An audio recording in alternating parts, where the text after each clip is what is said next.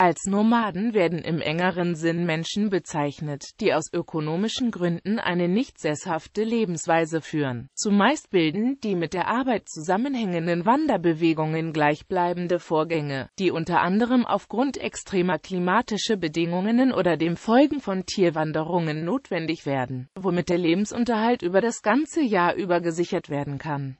Die Übertragung des Begriffs auf ganze Gesellschaften ist problematisch. Häufig sind nomadische Gesellschaften nicht homogen, es gibt zum Beispiel auch dauerhafte Dörfer oder zeitweise Sisshaftigkeit in Städten. Überdies wird dadurch die Eigenbegrifflichkeit dieser Ethnien ignoriert. Traditionelle Nomaden sind die Angehörigen unspezialisierter Jäger und Sammler sowie halb- oder vollnomadisch lebender Hirten bzw. Reitervölker trockener und kalter Wüsten, Steppen und Tundren sowie der Prärie, in denen dauerhafter Bodenbau keine Perspektive hat. Die hirtennomadische Lebensweise wird im deutschen Sprachraum mit dem Begriff Nomadismus belegt. In vielen anderen europäischen Sprachen wird hingegen nicht differenziert, so dass die korrekte deutsche Übersetzung Nomadentum heißen müsste. Zur deutlicheren Unterscheidung werden im Deutschen bisweilen die Begriffe Hirtennomadismus oder Pastoralnomadismus verwendet. Selten werden auch Wanderfelder Feldbauern als Nomaden bezeichnet, da sie alle drei bis fünf Jahre aus ökonomischen Gründen ihren Wohnort wechseln. Die als fahrendes Volk bezeichneten Vagabunden werden hingegen nicht zu den Nomaden gerechnet, da sie regellos umherziehen und häufig nicht aus ökonomischen, sondern aus kulturellen oder weltanschaulichen Gründen nicht sesshaft sind. Im weiteren Sinn wird das Wort in jüngerer Zeit auch für sogenannte Mietnomaden oder Jobnomaden verwendet, letztere verstanden als Personen Personen, die aus eigener Entscheidung keine dauerhafte berufliche Anstellung anstreben, sondern die Stellung und in Verbindung damit auch den Wohnort häufig wechseln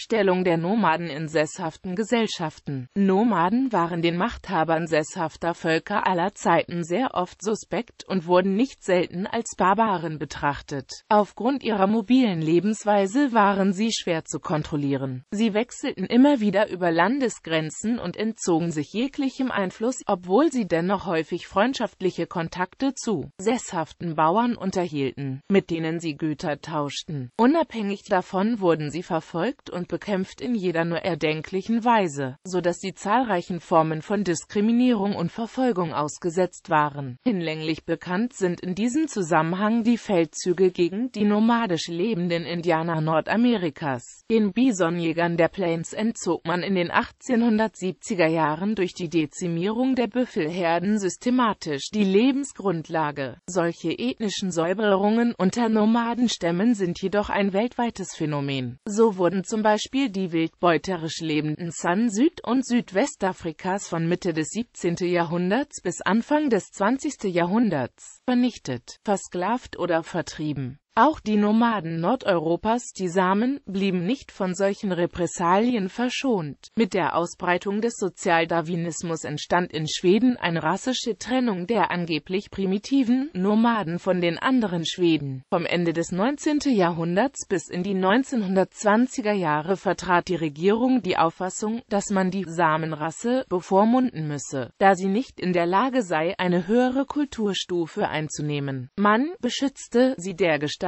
dass man unter anderem sogenannte Nomadenschulen einrichtete, in der die samischen Kinder auf niedrigstem Niveau unterrichtet wurden oder den Samen verbot, in richtigen Häusern zu wohnen. Auch heute noch sind Nomaden Diffamierungen, Diskriminierungen und sozialer, ökonomischer, politischer und ethnischer Marginalisierung ausgesetzt und in vielen Staaten eine von der Bevölkerungsmehrheit nicht erwünschte Minderheit. Vielfach wird die Bezeichnung Nomade daher abwertend verwendet. Rez Rezeption. Das Live-Netzwerk ist eine Gruppe von Nichtregierungsorganisationen, die hauptsächlich in Asien und Afrika mit Tierhaltergemeinschaften zusammenarbeitet und sich im Rahmen von internationalen Prozessen bei der Welternährungsbehörde und der Internationalen Konvention zur biologischen Vielfalt für Tierhalterrechte einsetzt